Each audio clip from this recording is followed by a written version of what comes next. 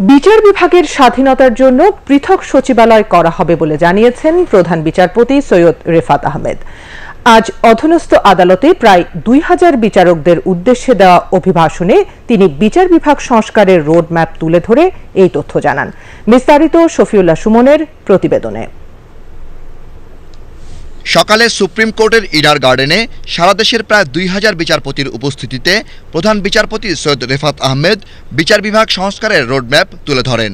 প্রধান বিচারপতি বলেন, বিচার বিভাগের স্বাধীনতার জন্য সরকারের সহযোগিতা চেয়েছেন তিনি। বিচার বিভাগের জন্য পৃথক সচিবালয় করা হবে বলেও জানান প্রধান বিচারপতি। তিনি জানান, বিচারকদের পদায়নের জন্য পৃথক নীতিমালা করা হবে।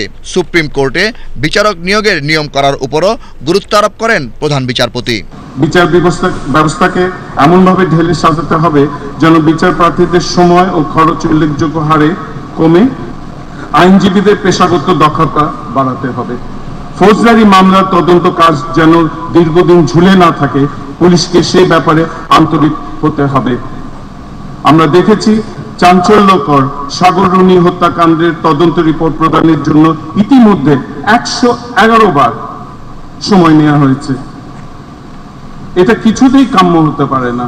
অনুষ্ঠানে বক্তব্য রাখেন আইন বিচার ও সংসদ বিষয়ক উপদেষ্টা ডক্টর আসিফ নজরুল ও অ্যাটর্নি জেনারেল মোহাম্মদ আসাদুজ্জামান। আমরা প্রকৃত ন্যায় বিচার প্রতিষ্ঠা করতে চাই।